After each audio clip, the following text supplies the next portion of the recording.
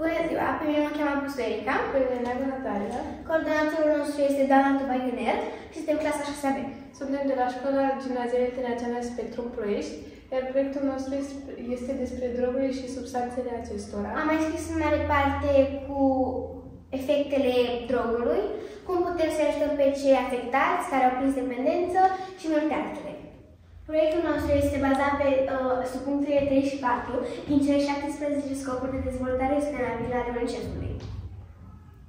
Ne-am ales acest proiect deoarece și noi suntem adolescenți și trebuie să știm de ce persoanele de vârsta noastră consumă droguri. Uh, am mai scris vârsta la care se consumă cel mai mult. De obicei se consumă la adolescență, adolescenți spre adulți, 15-34 de ani. Consumul drogurilor poate aduce la slăbirea sistemului imunitar, creșterea riscului infecțiilor, probleme cardiovasculare, începând de la irregularitatea ritmului cardiac până la atacul de cord. Uh, drogul se consumă din foarte multe motive, acestea fiind lipsa de educație, istoricul familiar, traume în trecut, asocierea consumului de droguri cu ameliorarea stresului, decesul cuiva drag. Și lipsa de atenție.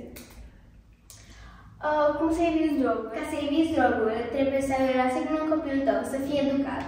Și încurajarea activităților pentru a ocupa timpul liber copilului tău poate fi bun ca să evite drogul. Ca să ajutăm pe cei afectați, trebuie să le sprijinim prietenii să nu consume nici droguri pentru a nu îi influența și pe copiii voștri.